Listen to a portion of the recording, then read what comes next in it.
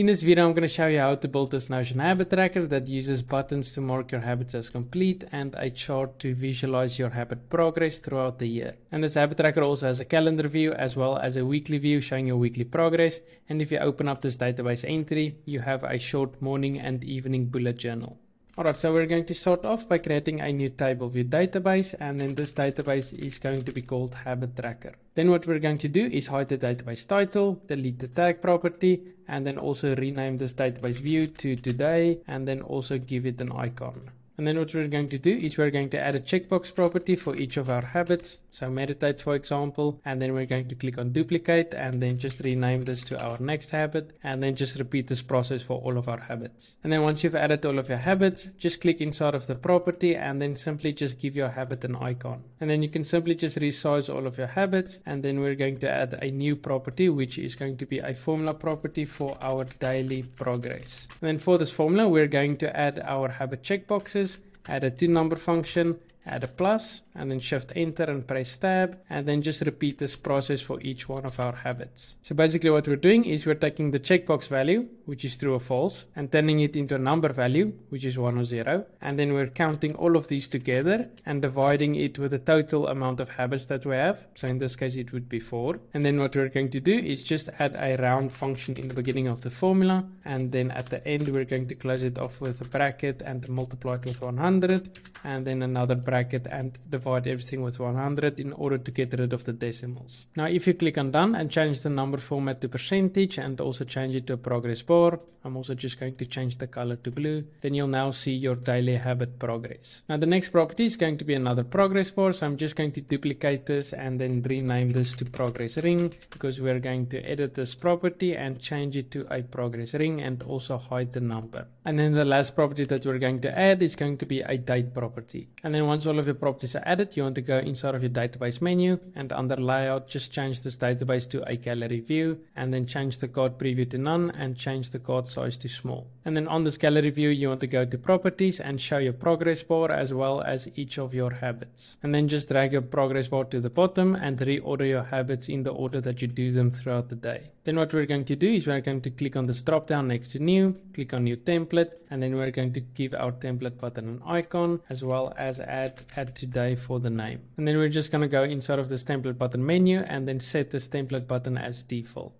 So now if we create a new database entry, it will automatically add an icon as well as add today for the name. And then because we're using this dynamic add today option, it will automatically add today's date to the date property. Now the last thing we're going to do for this database view is just filter it to where the date property is today. So now this view will only show today's habits. Now let's add the other two views. We're going to click on this one and click on duplicate. And then we're going to rename this to calendar and then also give it the calendar icon and change the layout to a calendar view database. And then we're going to go inside of properties and then just show the exact same properties as on the previous view. And now this last view is going to be a normal table database, which is going to be for our weekly progress. And then for this view, you want to hide the database title, hide the vertical lines, and then inside of properties, you want to hide the progress bar as well as the date property. And then for this database view, you want to go to the group tab and then group this database according to the date property, group it according to the week, show the newest database entries first, and then also hide all the empty groups. And then we can close out of this, resize the ring property and move it to the front, resize the name property,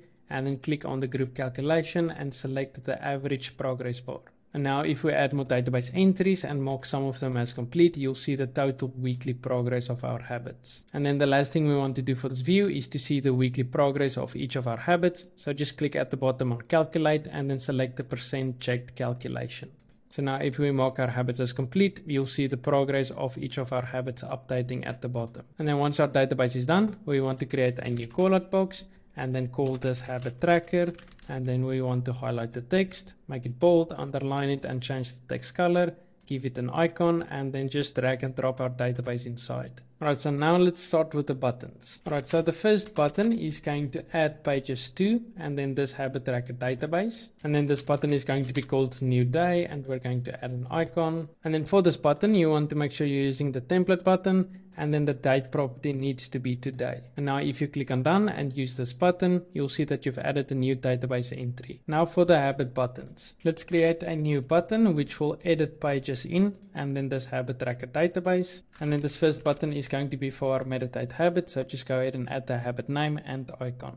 And now in order to specify that we only want to check off today's meditate checkbox, just go inside of filters and then just select the date property and change this to where the date is today. And then simply just click on edit a property, select the meditate checkbox and change it to checked.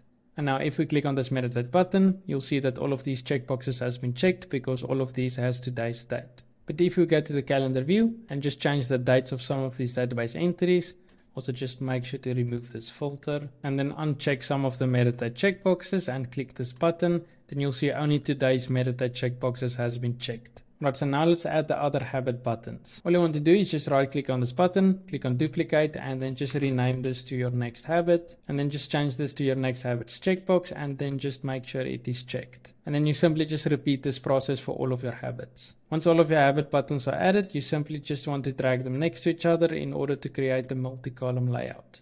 Now before we move on to the chart section, let me just quickly show you how to create a bullet journal. All you want to do is just edit your template button and then inside you just want to add a callout box, rename this to today's intention and then just highlight the text and make it bold, underline it and change the text color and then also give it an icon. And then all you want to do is just create a bullet list and then drag this block inside.